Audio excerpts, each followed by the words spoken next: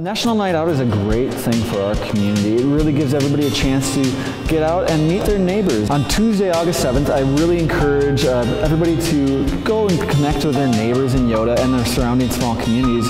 It's really a great chance to meet them and just uh, share a nice evening. National Night Out is a great chance for people to meet who their local uh, community officers are. In our case, uh, it gives Eyota citizens a chance to meet Deputy McFarland and uh, know him on a first name basis. So when they do see him, it's not Deputy McFarland, it's Casey. And then uh, when uh, you're able to break down those barriers, you're able to really engage law enforcement and it, it really makes for a better community as a whole. In Eyota, uh, Tuesday nights we also have the farmers market where we kind of throw a community uh, national night out, but it's really great to actually have national night out in your neighborhood and with your neighbors so that you really make those good connections with your neighbors.